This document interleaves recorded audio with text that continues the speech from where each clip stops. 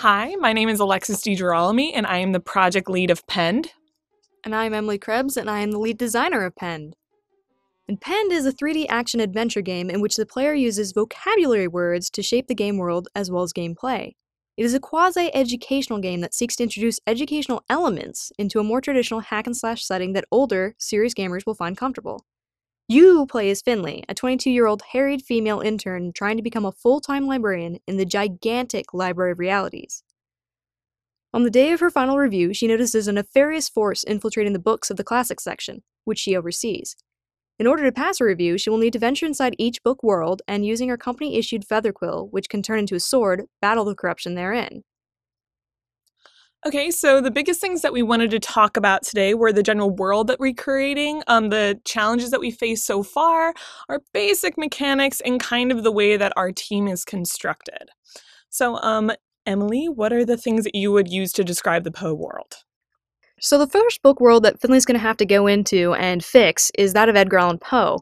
We chose Poe for a variety of reasons, one of which being the first thing that most people associate with Poe is a very serious dark, depressing atmosphere, which is good for us because that automatically puts us into a more serious gamer mindset, which is what we're trying to achieve. But Poe's not just limited to that. He actually has an amazing breadth of work with a bunch of co- romances and comedies and very humorous pieces that helps us create a more tongue in cheek tone.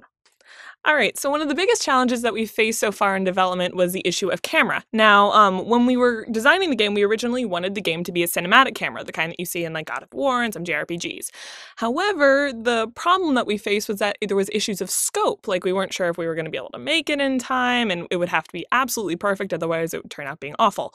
So what we decided on instead was a mouseless camera, the kind that you see in Lara Croft or in Kingdom Hearts, like the typical first-person action adventure camera and then we're incorporating trigger boxes, which place focus on certain elements within the scene.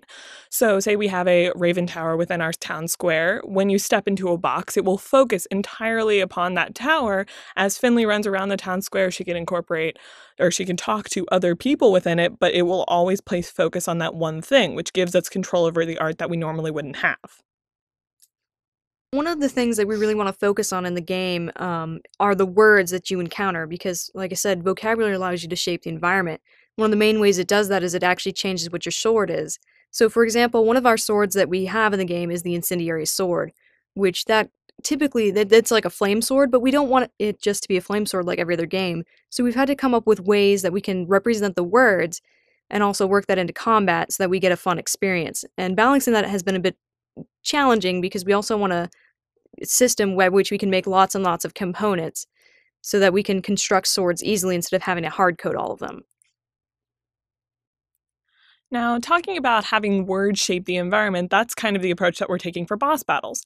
Now, when Finley approaches a boss arena, there will be QuickTime events that allow the player to choose words that will affect the bosses that they get. So, for example, the black cat that we're making is going to have three words macabre, surreptitious, and corpulent.